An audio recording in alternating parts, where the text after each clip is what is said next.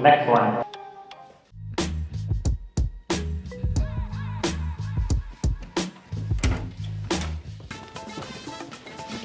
Nice to meet you and thanks for having me.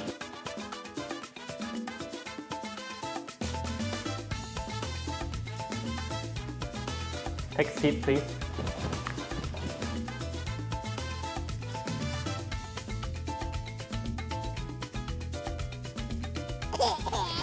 Sorry, I couldn't find someone to take care of him. But thank you so much for your consideration. With a baby? Really? How did you even get past the first screening test? Get out, please. But it doesn't say in the job description. It doesn't have to. Come on. You're just wasting everyone's time. Please, I really need this. Get out, please. Okay, let's jump right into it, shall we? What was your previous position and what didn't you like in your last job? I was in a girlfriend position with two previous companies. There wasn't much I disliked about my last job.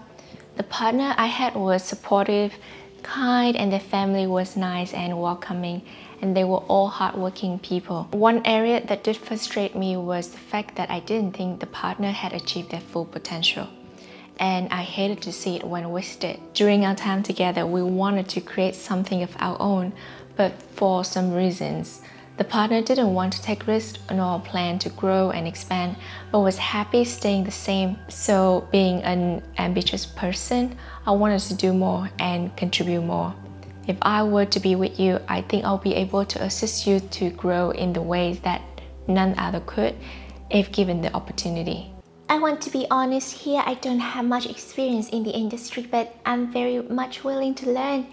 And uh, I would even take non-paid job or internship if you offer. I was a wife with the previous company. What I didn't like about that company is that they are a bit too perfect and all my friends are kind of messed up. None of them have healthy relationships, so I couldn't really fit in so I have to make up lies about the husband and the company, small things like they never help out with the house. I have to do everything by myself, 9 to 5, take care of the kid. Just at one point, it feels really tiring to keep up with all the lies, so I have to dump his ass. Where do you see yourself in five years? I don't even know where I'm going to be in the next five months, so it's a silly question, isn't it? Of course, I will be with you in five years. I would I love this position and some might call it clingy, but I'm very loyal. So wherever you are, that's where I'm gonna be. Together forever, right? My goal is to spend that five years wisely. If I'm gonna spend a lot of time with this company, generally I want that time to be put to good use, that we both enjoy each other company. In five years, I still plan to be living with you, taking care of you, being your emotional support and probably when the time is right, be the mother of your children. Of course, if that's something we both agree and plan. In five years, I envision having developed considerably in my role as a wife and expanding to a mother role by reading books, learning about new skills on the job, and I plan to continue to be a loving, caring, wise woman. I don't think I'll be interested much in loud activities such as nightclub but the social ones with friends and families. In return, I expect to be respected, trusted, and loved and cared about and seen as a team member. Essentially, in this five years period, I wish to build a long-term relationship and a lasting one. Why should I hire you for this position? In other words, what do you bring to the table? What do you bring to the table? Because I'm the table. Well, I'm still very young and still exploring what I'm good at, but on top of my head, I would say I can be a brilliant trophy wife that you can show off to your friends and family. I have very good genes that I can produce cute babies. I love babies. Do you?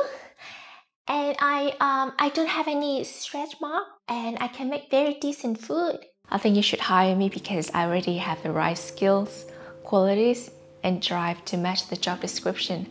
I'm proud myself on my unconditional love for those I adore. I always embrace their unique qualities and supporting their dreams, even if they differ from my own.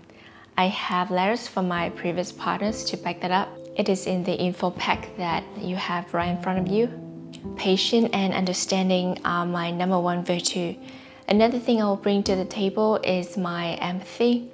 This creates a strong bond, allowing me to provide the support and comfort needed during life's ups and downs. Next, I'm a quick learner. I can make sure I learn about you and fit into your team. I'm flexible. I will even do tasks outside my job description. And last but not least, I will look for ways to help you grow financially while being frugal with the given resources and supply to help you save money so it benefits us both in the long run. What makes you unique? That will be my ability to communicate and interact. I won't go silent treatment when an argument occurs. I'm here to nurture, not to put pressure. I will always encourage open communication by actively listening to your thoughts and feelings, creating a safe space for you to share your experiences without fear of judgment. I'm very supportive. This is good for you because I will put your needs above mine and go beyond to make sure that you are satisfied. The second thing is my desire to continually improve. I want to become a wife that you can emotionally, physically, and intellectually connect with. I will never just do the bare minimum. I will support you with all that I can and I will help you achieve your goal. Ah, I can sing and I can I can do Gollum voice. My precious. Oh, he didn't seem to be impressed. Okay, um, some guys uh, might even say that I'm very good at blow. Well, there's only one of me in this entire world. If that's not what makes me unique, I don't know what does. What is your biggest weakness? Oh, I hate this. I hate financial responsibilities. If you give me money to say go shopping, I don't mind. It's easy peasy, but things like taxes, I haven't touched my taxes in like five years. Can you imagine? No, I can't. Other than the fact that I don't cook, I don't think I have any weaknesses. Some guys I dated before said it is a deal breaker, but it doesn't say in the job description, so I don't think it's a big deal, right? Um, other than that, I don't mind eating out all the time. Do you? Back then, I'm a bit of a people pleaser, but I'm trying to be more mindful in situations like this and I'm the type of person who continually improve in all area. I would want to focus my time and energy to those that are dear to me and focus on my well-being. Uh, I have headache often and uh, I have to tell you I'm not a very good listener. That's gonna be a problem. I'm telling you honey, it's not gonna be a problem. What do you think of prenup? A prenup? Who do you think I am, a gold digger? Do you have any goal for me to dig? Sorry, what's a prenup? Finance is something that we don't have enough candid conversation with our partner. That's what makes it scary and emotional. But I'd rather deal with it now when we are in good condition and everything is good than when bad things does happen. For better or worse, there's one thing I'm certain that people change. I intend to work hard for myself to be proud of myself, so there's nothing to worry about when it comes to a prenup. However, I know for a fact that many women come into a marriage with barely nothing. They work for or with their previous partner, and together they grew the business to a whole new next level, but their names weren't on any documents or assets. When they parted ways, either it was in peace or not, they are left with almost next to nothing. I believe we all intend to continue working, but what happens if the women have children and have to stay home? So now for those come into a marriage with nothing but good intention, they might have the hesitation to fight with the idea if the bad does come, what's going to cover them. That's why I'm pro prenup, but it has to come down to what terms that benefit us both when the time comes. Well, now that you mention, please submit your bank statements and any other assets that you have. Well, that's hardly appropriate at this time. We have many great candidates, so the description has changed. If you don't have it with you now, go print and leave it with the reception or you won't hear from us again. Okay, speed round. Body count. Fairly inappropriate. Drug. No. Drinking. No. Smoking. No. Debt. None. Spend or save? Save and invest. Children. Yes. Pets. Yes. In-laws. Being close. Indoors or outdoors? Indoors. Car, couch or shoes? None. Stay-at-home mom or daycare? Um, Ah, too long. Takeout or frozen meal? home cook. Pursue or be pursued? Equally important, it is a two-way street. Biggest fear? Unfulfilled potential. So, do you have any questions for us? Yes, um, how soon can I start? Because I really want to get a leg up in this summer. All my friends are already in a relationship or going on vacation. How old are you again? 17. Come back when you're 18. Jeez, no common sense. How many houses and cars do you own? How many vacation a year are we taking? And uh, what's my monthly allowances? What's your expectations around kid? What is your stand on financial contribution from each? What do you want to leave? Are you into traveling? And you know that kid will likely change their female partner career. Would you consider staying home full-time with a kid? Um, that just well, that's just the top of my head. I have a list of questions here. You can get back to me when you can. Huh, who does she think she is? Now, this is something worth talking about.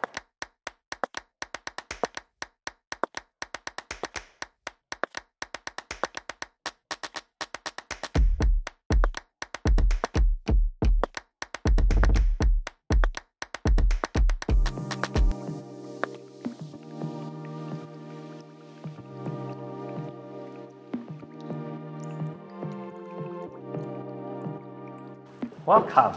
And you are Miss? Michelle. Michelle? Let me give you a tour of the company. Have you seen the view of the house? You're gonna love it.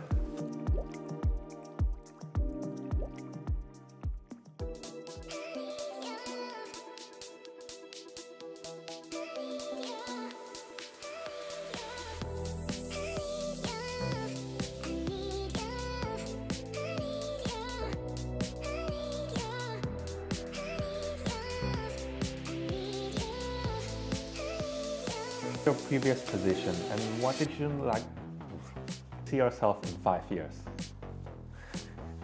You say Michelle, right? I said my name. So you're gonna say your name first? I did already. Huh? Okay. ah, okay. Michelle, let me give you a tour of the company. Have you seen the view of the house? You're gonna love it.